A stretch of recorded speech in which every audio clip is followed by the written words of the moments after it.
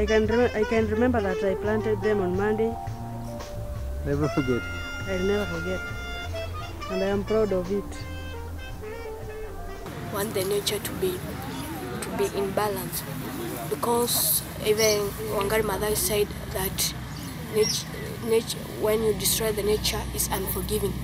Now we don't want the nature to be unforgiving to the generation to come. I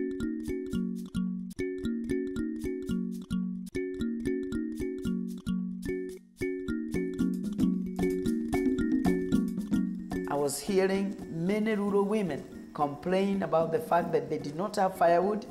They were also complaining that they did not have enough water. Why not plant trees? I asked the women. And so they just started very, very, very small, very, very small. And before too long, they started showing each other. It was now communities empowering each other to plant trees for their own needs. When the women started, nobody was bothering them because nobody took them seriously. You know, who takes women seriously? Then the government realized that we were organizing women.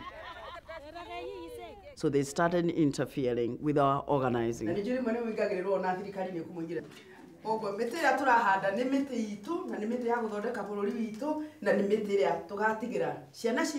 O a na ithuĩ twatigĩirwo nĩ maithe maitũ githĩ tiguo koguo nĩ tũtige kũhagahagagio nĩ andũ na mama moja anajitokeza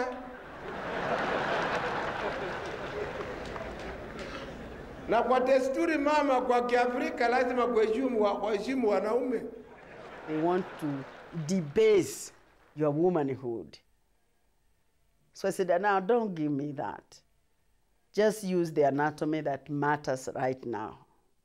And that is from the neck up. She was disobedient at a time when disobedience was not tolerated. A lot of our people were imprisoned. A lot of our people were killed.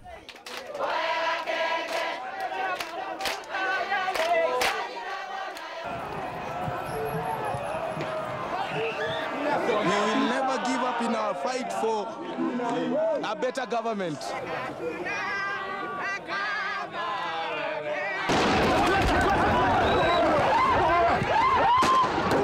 We are going to shed blood because of our land, we will. nä ahete hinya na å mä rä ru må ingä må no ngä ka å ndå njä kaga njä tä kä tie atä maå ndå nä merä gå kua kana kå hotana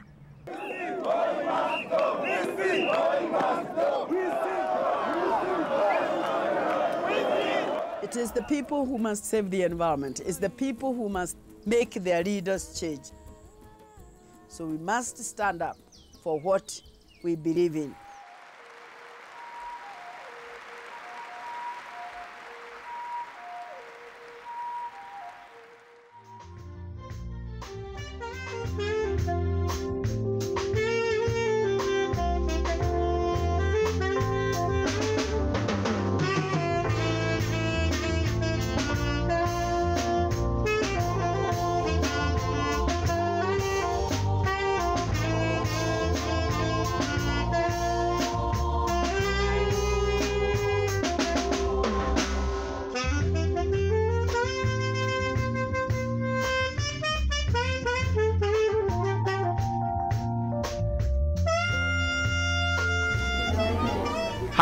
Transplanted any trees? Have we transplanted any? From the nursery? Yes. Where are they now? Are we of this equal height with the trees that we planted? Eh? No. Who is taller? Is it the tree or you? Eh, you'll be visiting this, this school after you have joined Egerton University. You'll be coming to this school to show us your tree. You bring your children here also. Yeah? And one time you tell them, I planted this Tree. tree. Oh, the club. Very good.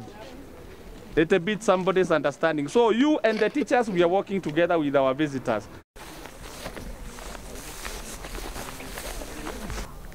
I planted in in in April.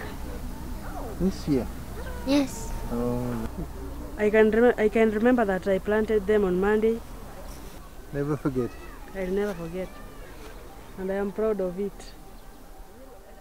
I'm the one who takes care of it. I normally irrigate it and sometimes we weed it. Uh, we named this forest after, after our teacher, Mr. Oko, and where we were earlier, we named it after Mr. Oyeru. Uh, this is the envi- environmental group, and we are very happy because each one of these boys and girls have planted these trees. They have their own tree, and they have been taking care of these trees. As a school, we are very happy because uh, these trees have made a home for us. When we want to counsel these boys and girls, we come here. They also talk to us. We discuss so many things about our school, and we don't get tired.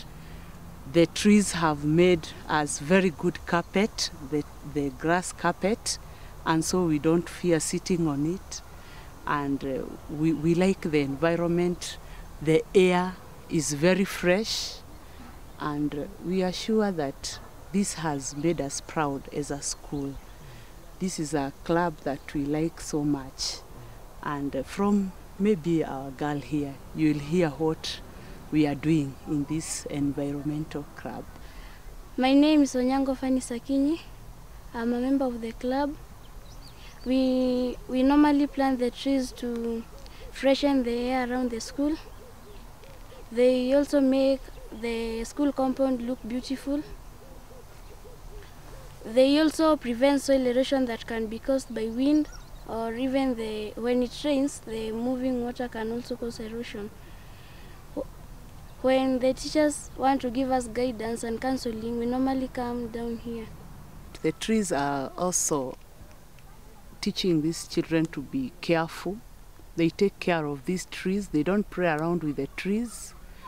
And so we see that these children are gaining something from another virtue of taking care of something when it is tender until when it is grown, especially in the environment. And even at home, we tell them that you should take care of trees. They gain that one from the way they take care of these trees in the school. We can keep our environment clean and tidy so that it can be it can be beautiful. We normally learn a lot from the trees. We also learn what the trees require for their growth. We sometimes do activities like irrigating the trees, weeding the trees to make them grow. Our dream is to have a nice forest, a park, a nice park. Also, in in our syllabus, we have learned about recycling and reusing. When they collect plastic cans, they use them for planting flowers. Normally convince the other children by telling them on the on how to to make the environment clean because we normally teach them on the environmental pollution and their and their effects. Them not to burn charcoal. Charcoal lead to the, the, the, the destruction of uh, ozone layer, ozone layer, because it contains carbon dioxide. Want the nature to be to be in balance, because even Wangari Maathai said that nature, nature, when you destroy the nature, is unforgiving. Now we don't want the nature to be unforgiving to the generation to come. Wow. So, uh, how about your parents? Do you talk with your parents about all this, what you're doing in the club? Yeah. Our parents support us by giving us 50 shillings to buy a card, a member card. Whenever we are asked for money, for example, to buy cars, they normally give give us. Also, there was a place where there was soil up there. There was a place where there was soil. Then the club planted planted grass so, so that stop erosion. This is a place where, like years back, it was like soilish like that. Now the club decided to, to plant girls to stop erosion. My friend will explain better. That one, even that one, What you have made? these ones, Yes. those one. What There. you have made? Yes, that one. Right. Yes. We, we, norma- we normally take care of these areas by, for example, when the grass grows taller, we normally come with slashes, then slash in order to avoid the breeding. Those beautiful flowers that we planted last time. You look around before planting the grass was was wind and soil, and the the, the place was, was looking brown like this. Yeah. So when we plant the the grass was so was so was now appreciative and and look beautiful. Yes.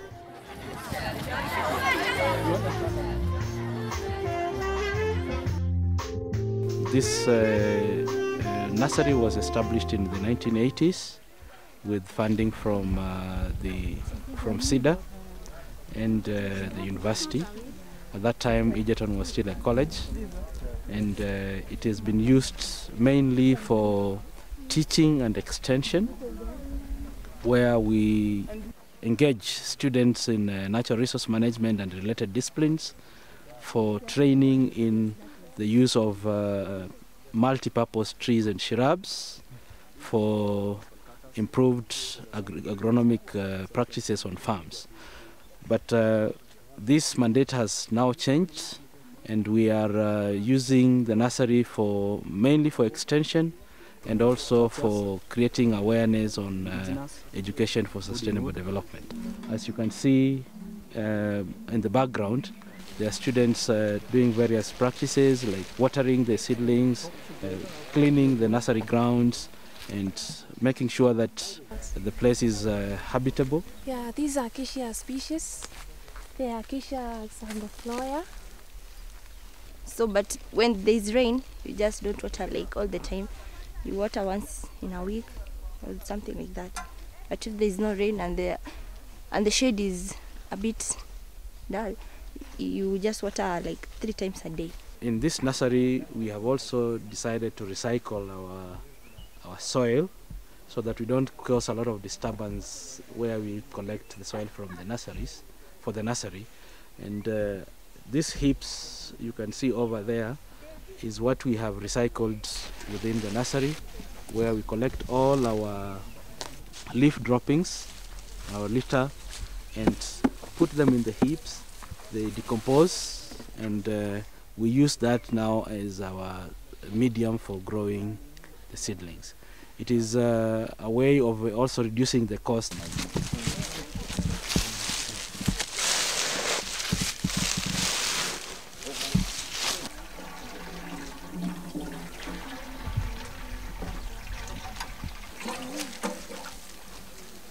Depending on the day, like in this place, the the shade is not enough, so you have to water like twice per day, in the morning and in the evening. You can't water during at lunchtime, noon, because the water will be easily absorbed.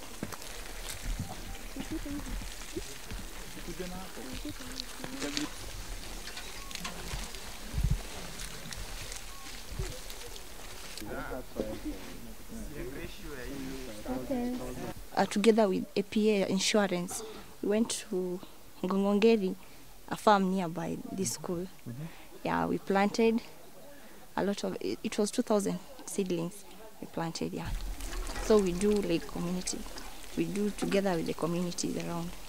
But actually now we have a project of establishing a tree nursery in two primary schools yeah, around this place so that we can at least when we want to go and plant it in other in the field down there we have the seedlings we don't depend on others yeah which is more economically yeah I come from the slopes of of, of the Aberdares.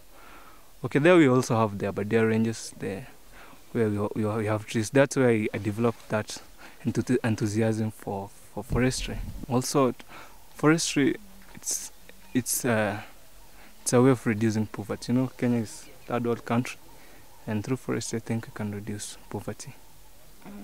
Mm. at the moment it's at three percent and you want to gain the nine, the 10%. So through establishing this si- mm. si- tree nursery and uh, forestation and reforestation, we can able to achieve that 10% Sure. of Kenya as a forest. Yeah. The indigenous may, talk, may take longer time, but this mature faster. The aim here is to, to restore the environmental, okay, to improve the, the carbon sink, you know, because of the climate change also, that's, a, that's also an issue. yeah, like the place I'm coming from, it's a ASAL area. So I want to go and establish a forest there so that the rain, yeah, the rain to, to, yeah, to bring rain there. I mean, it's so dry, so when I plant trees, I guess it will bring some rain. And that's my core objective, actually my object, uh, my goal. I really want to make that place good, to look like this place, Egerton. Yeah. Yeah, and I love to work with NGO hmm and to get to know other places, not only in Kenya, East Africa, and even around the world. And uh, we are establishing nurseries with schools, church organizations. We are uh, uh, also encouraging uh, women groups to adopt this this practice so that uh, they can also get some income from uh, the raising of seedlings. RC Mau Ecosystem Complex was launched in 2009, October, when stakeholders in this area came together to discuss about the Mau complex, which was facing extinction because of human encroachment. We partner with the neighboring schools in uh, spreading the gospel of the need to conserve the environment. We were allocated this land by the government to rehabilitate this because people had moved in and cleared the forest. Yeah, but now the government has come in and it's encouraging people to move away and rehabilitate this, replant the trees. Each participant planted a tree or two, and they were supposed to adopt that. We supplied the seedlings, and we participated in a joint planting. After this, each pupil was assigned a tree that he or she was supposed to adopt and make sure that it survives. This one shows our vice chancellor participating in the tree planting. Normally, when we have an environmental week, it's launched by our vice chancellors. So this gives also our students motivation when they see that the, the highest authority is involved in the tree planting activity. This one, we did it at the beginning of this year, around March. Within our faculty, we have members of staff who have done a lot of research on the Mau forest. So we found that that was a good opportunity to, to talk to the people. We participated in a joint planting activity, planting activity with another secondary school neighboring our institution here. Each student comes from his or her own home. So if we pass the message of planting trees, they will go back to their homes and do the same. Yeah. So this is the the principal of that secondary school. He planted his own tree. It is important that the principal also participate in this exercise because it gives a good example to the students. When they see their principal, you see he's in a suit, but he had to, to, to, to kneel down and plant the tree. Yeah. And then we agreed that even the principal is going to adopt that tree and ensure that it survives. Then this is the deputy principal of the same school, a lady. So it also gave a good example to the lady students that it's not a taboo because in Africa some time back there are some cultures which do not allow women to plant trees because they say it's a taboo. Now, after we had given them an environmental talk, each student took at least 10 seedlings to plant because the, the school is a small school, doesn't the population is not that large. So we thought that if each one takes 10 and adopts those 10, then the number of trees planted will be large, yeah, big enough, yeah, and I think will have played a bigger role. This is the local administrator, the chief, the local chief, who also joined us in the exercise. He planted this tree so that it gives that support from the government side. When the villagers see that the chief is participating, then they will not allow the animals to come and graze over and destroy the plants. Parent, uh, the chairman of the Parent Teachers Association of the school, yeah, he also participated and he planted this tree. The deputy head teacher of the same school, she's a lady also. So she participated also before we did the talk. She was talking about the need to conserve the environment and how these trees, once they grow up, the ones we planted, are going to help them in managing the environment. Yeah.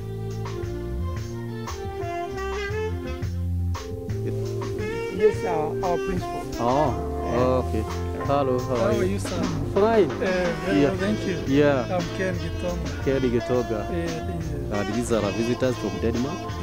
Uh, they have come here to take some food. Right. Uh, this, since the botanic garden is not for Egerton alone, yes. yes, they have seen, you have seen also, it is for the public, other institutions to come and learn.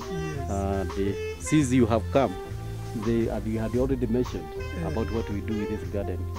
So they are requesting if they, you can continue the activity just allowed here. All right. And they take uh, a short snap, All right. they are to appear. All right. Is that it? so you just continue. That's, that's great. Thank you, thank you. It's Mentino and uh, Afri- Prunus, African Prunus. Mm. It's, it's treatment for cancer. Okay. And um, It's we Mentino. realize it's also handwood, and this one is also handwood. Mutero. Mutera is also handwood. William, William. For what? For I remember we were being advised you people you be taking soup with for- for, for men. prostate. prostate, yeah. Prostate gland. Is it also eaten by goats? And, and this tree, traditionally in, in, in, in African traditions, it has a lot of significance. Our, our communities used to go and worship where this tree was. And, um, and um, um, ceremonies, particularly Meru community, where I come from, ceremonies were done where Mugumo tree is. And the main purpose of this garden is to conserve uh, plants, especially the layer the medicinal plants. And the other one is uh, for teaching and the research uh, activities. And the, finally, we use it as for leisure.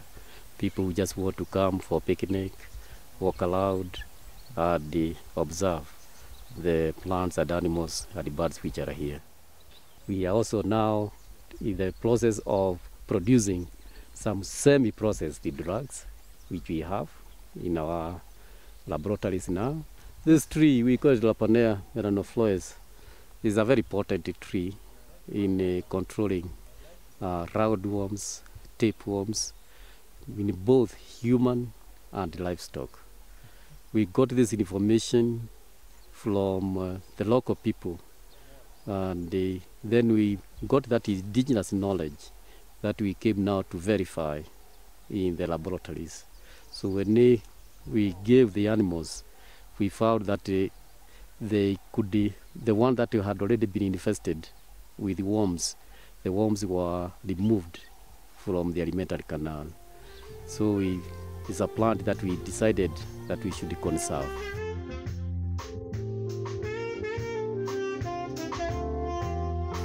This is the tree nursery that we have in the Botanic Garden, where we put the plant that we have collected from different parts of the country, from uh, different regions. We are also very particular that we bring only the plant that can uh, survive in this altitude. So the essence of planting trees with school kids is to enable them know when they are still young the nature and the advantages of environmental protection. These are one of our official. She was teaching us on how we're going to plant these trees. This is just before we, we planted like 500 seedlings. A month after we left that place, the Kenya Commercial Bank also joined the school. They planted 1,500 seedlings. A month, immediately a month after we left that school, another uh, NGO, You Hope for Africa, planted 700 seedlings. Then the Ministry of the Youth Affairs also planted 700 seedlings. So the currently school is boasting of 4,000 seedlings. The educational process as well, right? It's not just Yeah, it's not just planting tree. Uh, setting tree. Yeah, when we go there, we get the pupils, we talk to them, we learn from each other, we tell them the advantages of keep nurturing these trees. So even if we leave, they know these things belongs to them. And you remember Laureate Wangari Maathai, the environmentalist, died. We also commemorated her. So we have a corner where we always, every, each and every year, we go plant trees in her honor. welcome to Mkorombothi Tree Nursery. It's a community-based uh, organization, nursery that uh, is, has been established to aid in the establishment and rehabilitation of uh, Mau Complex. It is uh, a, a nursery that is run by community members who have come together with the common purpose of uh, increasing tree cover in the Mao. The ladies mainly work in the nursery as the men go out and collect some seedlings out in the in the wildings in the in the forest which they use to uh, enrich their collections. Tuko na furaha kubwa kabisa kuona university vile wametuletea wageni kutoka nchi za nje kuja kushikana nasi wakati huu. Kwa hivyo sisi tuna furaha zaidi kuja kuona nasari yetu. Hii ni nasari ambayo inajulikana sana hapa Maunarok Narok, na ndio tunafanyia kazi juu ya upandaji wa miti ya, ya miche kupeleka forest hata katika mashamba yetu. Hii miti ni nzuri zaidi katika mbao, tena maganda yake sisi hutumia kupikia chai. Ni vizuri, eh, ni dawa ya kutengeneza tumbo. Kwa hivyo tena hii ni nzuri sana, tena haiharibu shamba, iko rutuba ya kutosha, na tena hii miche tunatumia kwa upikaji wa chakula. Hii miti tunaita mkeo, naye hii mkeo ni mzuri zaidi tena kwa mbao. Sisi hutoa mbao, hii hutoa makaa, hii miti tena tunatoa kamba, inaweza saidia mama kubebea kitu kaba yake. We have partnered with communities for biodiversity conservation as well as Egerton University and uh, we are interested in uh, species that are rare and endangered. In this nursery we are uh, uh, uh, promoting the, the growing of Prunus africana.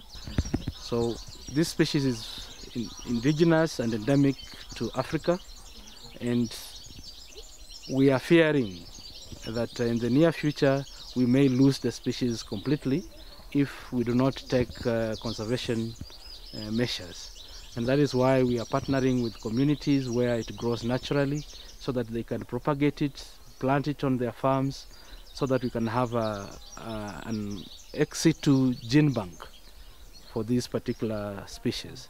Similarly, we have um, the Hagenia abyssinica, which is uh, rare. It has been overexploited for timber production. It has very good quality timber. Its common name is rosewood. It has uh, hardwood, which is uh, very good for furniture and uh, panels in uh, uh, palaces. Hii inaitwa mgaita, naye hii miti ni mzuri zaidi kwa kutengeneza ile viumbo inatengenezagwa ya bao, ikiwa ni unaweza tengeneza kijiko ya kutumia chakula, ya kupakua chakula. Hii hutoka kwa hii mti. Hii ni mti safi zaidi, tena matunda yake huwa ni dawa. Kwa hivyo hiyo ni kitu tunafurahia sana university yetu kuja karibu nasi. Tunaona tuko na usaidizi mkubwa zaidi, hata watoto wetu watafaidika zaidi zaidi wakati watakuwa. Kwa hivyo sisi tunafurahia university yetu na waendelee hivyo hivyo, nanyi muwasaidie ili tuweze kuwa pamo pamoja nanyi tutengeneze hewa yetu. Eh, hiyo ndio tunataka zaidi, tuwe pamoja.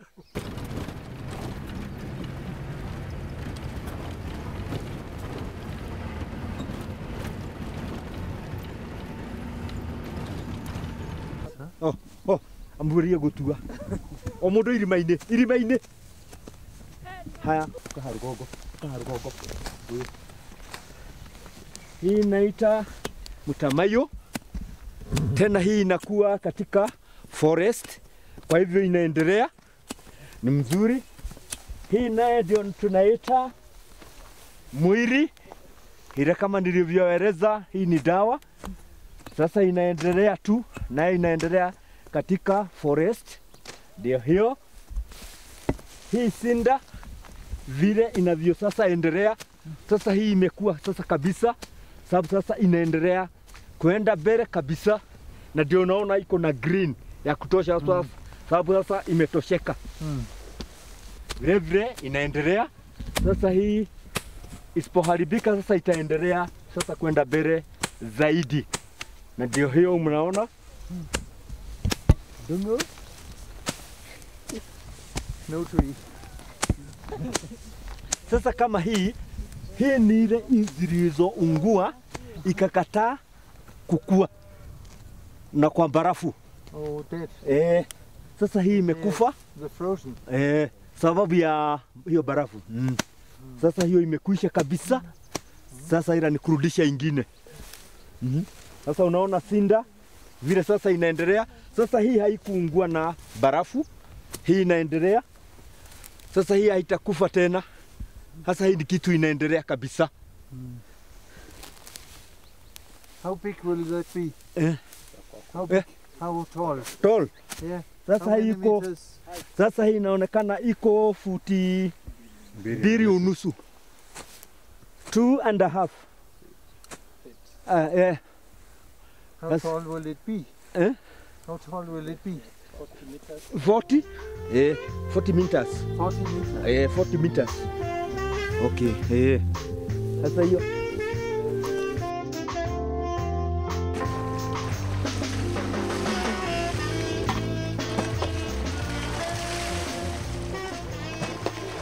Uh, the river you see down here is uh, Njoro River. Uh, it starts all the way from the Mau Forest at an altitude of 2,887 meters above sea level. Where we are is around 2,220 meters above sea level. And this is the Egerton Bridge. At Egerton Bridge, this is a place that has witnessed a lot of pollution. We have identified problems for every section of the river. And the problems are not all the same because when you see the first 10 kilometers, it's where the, the farthest source of this river. We only need to plant trees and offer watering troughs. And this can be achieved within one year. The next phase, this is uh, the forest, where other tributaries uh, come and join this river. There we only need trees. Objective is to achieve 4% forest cover this year from three. And this is what we are doing. Already we have planted more than 100,000 tree seedlings, indigenous, along a stretch of 12 kilometers. We community leaders and uh, all community in, at large and RUA chapter, Njoro chapter, we are very happy to work closely with Egerton University to facilitate our river. It is the only life river here flowing to Lake Nakuru to see that we are having more clean water from upstream down to the lake.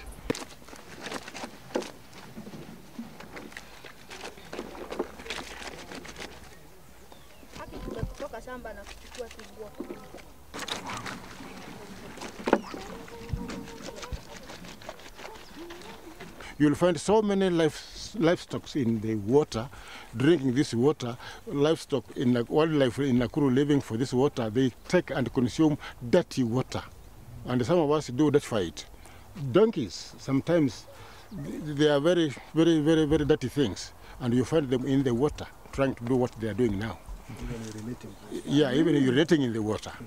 Mm, Even, even throwing some cow dungs in the water. Even cows do take water here. You may find some tractors and pickups being washed in here, and you can't say a thing. So it is really difficult for us by such activities. We have planted those trees all over, but you can see this sheep here. When they come to drink water, they eat our trees. Hmm? University have fenced this place here. You will find some of them. You will find some of them coming to cut the, the, the wire, crouching into the into the riparian area. I'm saying that the community could benefit a lot if the project could go on and uh, build some troughs, water troughs, alongside the, the, the drinking place so that uh, the livestock have their own place to drink and don't go uh, dirtifying the water that everybody will then downstream want to draw and make use of.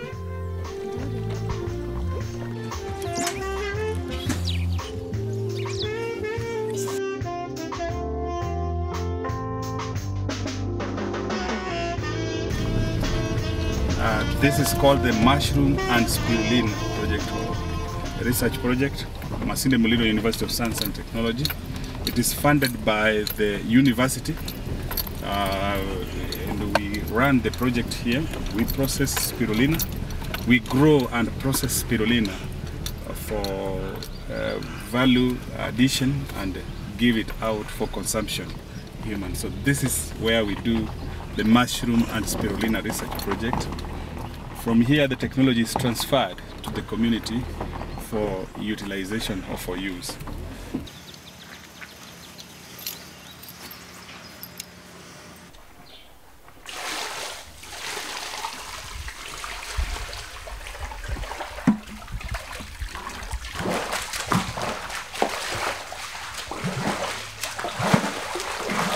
Uh, we have lagoons here. This is the growing area. The other four are uh, for seed. We call them seed banks. Uh, those seed banks uh, we process and make spirulina as pure, then bring it to grow here effectively.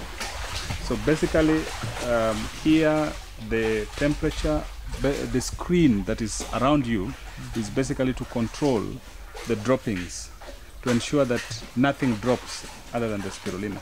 So it controls it from the external environment so that we are sure that whatever is growing here is actually spirulina and nothing more. As you can see, they are doing the mixing, making sure that the salt is completely within the whole system.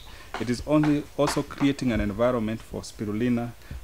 Another thing is that you can see they're also doing the, uh, in case of some some uh, other foreign uh, materials on top.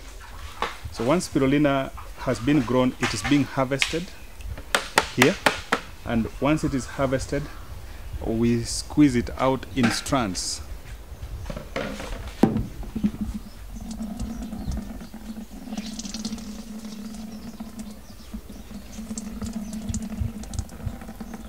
What he's doing is, is squeezing out extra amount of water so as to remain with um, uh, uh, pure spirulina with less as less water as possible.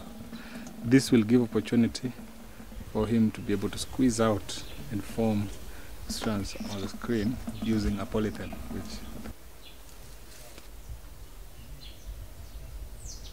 once spirulina has been harvested, it is put to dry.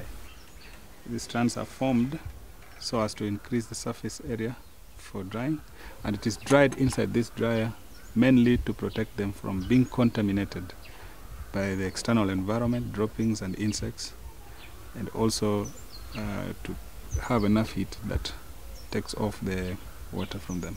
I think I will taste one for you. It's ready for consumption here, as I said.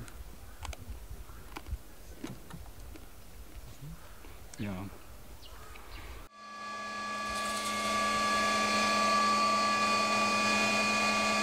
This machine is a motor that is grinding spirulina into a powder. Uh, so the powder that comes out is what now we actually pack to produce. We either pack it in capsules or just use the powder to spread on food once it is produced in that form. The concrete projects that have been uh, tested at the university uh, at the technological developmental level are among other things the spirulina that has been brought here, uh, which is being done at this center, and the mushroom project, which is now spread and being utilized by the community. In the community, we have the community leader who is in charge of the community undertaking the production or farming of mushroom. Within this is a mushroom production area in which they do plant mushroom inside this house. We have the mushroom, as you can see, that has germinated and is ready for harvesting. Now, mushroom, it depends on water. So that after harvesting, the first round you have to to spray, you spray using the hand spray, not the big one. Using the hand spray with a very minimal type of water, so that it makes it to come to generate well. Then as you look at this one, this one is ready for harvesting and ready for use.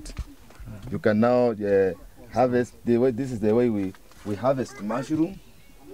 We do like this. This is how it look like. Then we cut with a knife. Then we pack. Even the one you saw at most, they were coming from this house. This us producing to them.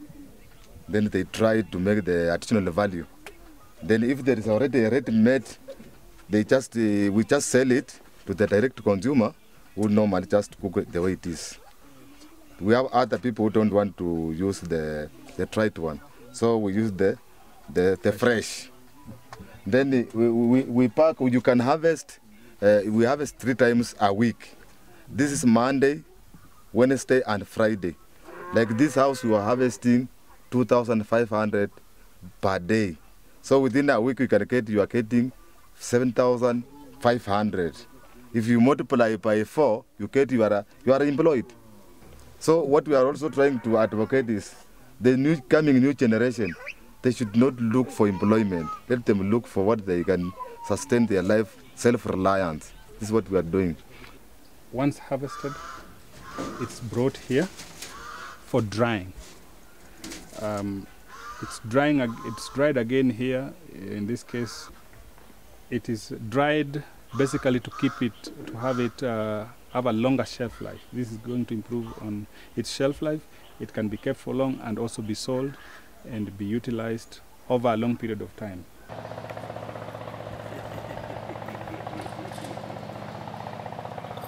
So the spirulina has to be ground first into powder. Then the powder undergoes extraction. So you put a bit of it and soak in a solvent. So we use methanol for soaking. So you add some solvent and you shake and leave it to stand for some time. shake and leave it to stand to soak for like 24 hours. After which filtration is done. Then after filtration, we go to concentrate the sample. Samples are taken for analysis to determine the chemical constituents present in the sample. The sample is uh, drawn and injected into the instrument, the HPLC instrument, and then now the sample it is analyzed and we get the final results from the computer. Final nutritional constituents of uh, spirulina include protein. Um, based on 10 grams, it includes proteins as 6.4 grams and the phylloquinone, vitamin K. This forms part of the reason why spirulina is valued as a superfood. Having been identified with those components, has also been found to be very good in HIV and AIDS because those nutrients mentioned, that is the vitamin A, vitamin K, are very critical when it comes to uh, strengthening immunity. Okay, I'm Paris Awinja. I'm 27 years old. I'm living HIV positive. I know my status 2020, 2010. I was bedridden. So I got the sisters, they come here to share with me. So my CD4 count was 34. I started direct for ARVs, drugs. I'm okay. Very good. It's good. Just continue. Is it okay? Okay. Mm-hmm. Since 2010, I'm facing a lot of challenges because I told my husband I got this and this, but she refused to accept. So I'm just living here, but I'm facing a lot of challenges. Sometimes the doctor advises we use five meal per day, but the situation not forces I use two meals morning and evening hours. Two meals. And you see how the way is in this place. My parents depending on me. And I'm just like this. So I face a lot of challenges in life. Okay, to me, yes, I know my status, but uh, I haven't been bedridden. But after going through on what Sprolina does, apart from helping the people who are HIV positive, I decided to use it because it treats many diseases, not only the people who are HIV positive. Boosting immunity system, yeah, you can be healthy, but your immunity is low. Hmm. So if you take it, it boosts your immunity.